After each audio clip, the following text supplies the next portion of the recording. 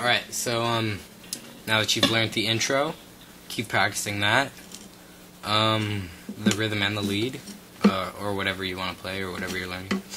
Um, yeah, so now we're on to the verse.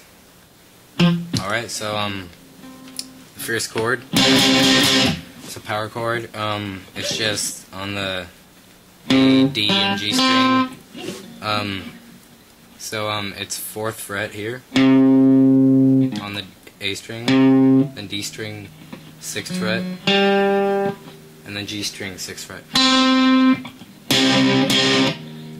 Alright, see that? So what you do, you go. So you, you hit it and then you mute. And you move to an E minor chord. That's just on an A and D string, second fret. So it's.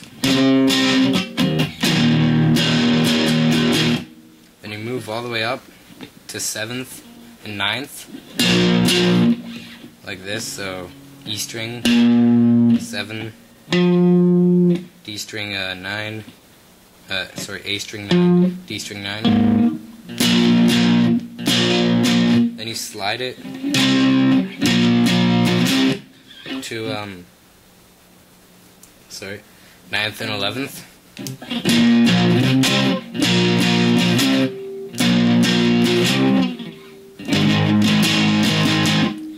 to fifth and seventh. So it goes like.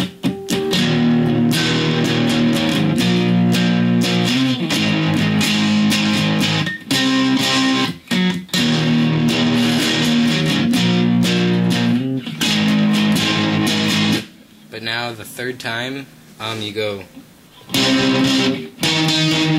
So you go. So you hit the chord here. Then you slide to seventh and ninth, like this. So it's seventh on the A string, ninth on the G string. And then you mute the one in between. So it's.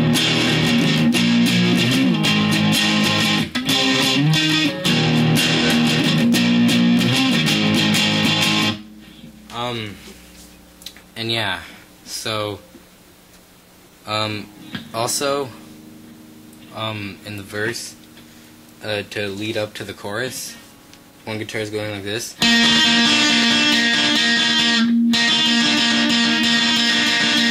So what you're playing here is fourth fret on the G string, then fifth fret on the B string, then you slide it to fourth fret. So it's fourth and fifth, then you go fourth and fourth.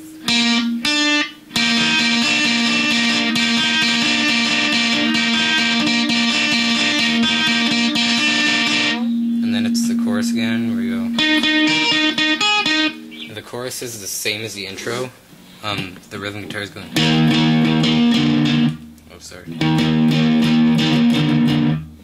It's doing whatever you did in the intro for the rhythm guitar. And the other guitars.